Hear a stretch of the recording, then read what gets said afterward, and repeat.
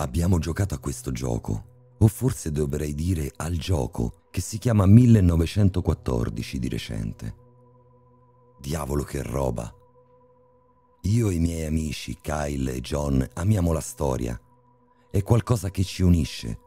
Così quando Kyle tirò fuori il gioco dallo sgabuzzino di suo padre, abbiamo pensato che sarebbe stato divertente provarlo. Un gioco da tavolo impraticabile degli anni 70. 200 piccole pedine di cartone che attraversano un percorso fatto di esagoni che ricalcano tutti i fiumi, le montagne e le città della Francia. Ogni pedina possiede tre piccoli numeri per l'attacco, la difesa e l'avanzamento.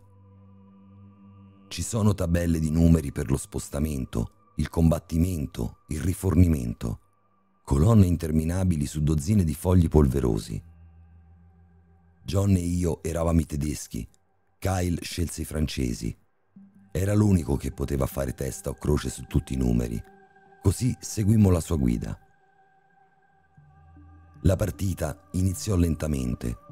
Ci vollero tre ore per disporre il tutto e le pedine si muovevano di circa un centimetro a turno, se eri fortunato. Ciò nonostante era una bomba. Il Belgio cadde molto in fretta. L'Olanda non aveva mai avuto chance. I soldati tedeschi sferrarono un attacco contro Verdun e la legione straniera guidò una carica per circondare Metz anche se era solo una serie di quadrati che si spostavano pigramente. Circa alla quarta sessione di gioco, le cose iniziarono a farsi un po' strane. La fanteria francese, accerchiata fuori Anversa, stava terminando le scorte di cibo e Kyle ci disse che avrebbe iniziato a far mangiare loro i cavalli della sua divisione di cavalleria per continuare a sfamarli. Disse che avrebbero preso un bonus se avessero mangiato anche i cavalieri. Provammo a scherzarci sopra, ma lui aprì l'enorme libro delle regole e come era prevedibile, sulla tabella degli effetti del cannibalismo c'era scritto chiaro e tondo, anche se Dio solo sa quanto spesso quel particolare evento ci si aspettava accadesse. Quella scoperta diede una nuova spinta alla partita. Iniziamo a cercare altre regole opzionali. Le appendici siriane, subito dopo la sezione gioco a per posta, cambiarono completamente la mia offensiva al Belgio è sorprendente cosa possa fare issare la cassa toracica di un nemico per il morale delle truppe, perlomeno secondo le note dell'ideatore. Saltò fuori che c'era tutta una sorta di meccanismi che ti garantivano dei vantaggi per il giusto prezzo. I sigilli di sangue ti permettevano di aggiungere più uno al tuo lancio di dado, ma solo se il sangue era fresco.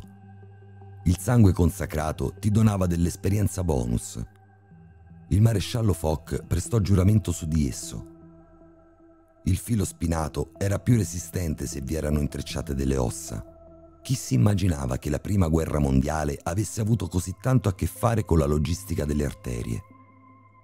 Non fummo felici di massacrare le seconde linee, ma credo che i miglioramenti delle nostre posizioni attorno alle Fiandre giustificarono più che bene quella particolare decisione. Ormai sento le armate marciare di notte ma è Kyle quello che ha preso le cose sul serio. Non si limita a segnarsi i nomi dei sacrifici giornalieri. Facciamo tutti così ormai. Evita un sacco di debuff. Ha cominciato a segnarsi turni sulla sua stessa pelle e a tenere d'occhio le vertebre di John. Ha annunciato la costruzione di una piramide di teschi grande abbastanza da ricoprire tutta Parigi e visibile dalla luna continua a scrivere pagine dopo pagine di regole aggiuntive in un inchiostro rosso decisamente sospetto. John si limita a stare seduto e a mormorare. Non è più stato lo stesso da quando abbiamo mangiato bucefalo. Stiamo preparando qualcosa di speciale. Nel 1918 le cose si sono intensificate. La prossima offensiva sarà quella decisiva. Ci stiamo preparando.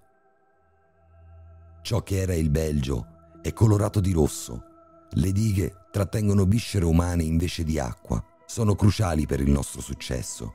Le viscere intendo. I nostri eserciti di milioni di soldati hanno smesso di esistere da tempo. Sono solo di poche centinaia di migliaia ora. Ma che migliaia! Il femore del tuo migliore amico colpisce più duramente di qualsiasi proiettile. I gilet fatti con i tendini dei belgi sono come Kevlar nelle mani dei nostri sarti. I problemi delle scorte alimentari sono cose del passato. È più facile trovare del cibo su due piedi, o meglio dire, su due stivali. Ogni tedesco porta con sé un centinaio di anime nel suo esofago. Non voglio pensare che cosa abbiano i francesi lì. Sono stati sacrificati tutti, tranne i migliori. I nostri soldati odierni sono estremamente efficienti, ma necessitano di molti ingredienti. Estate del 1918. Kyle siede in cima allo stadio parigino e si prende gioco di noi. Non ci sarà un 1919.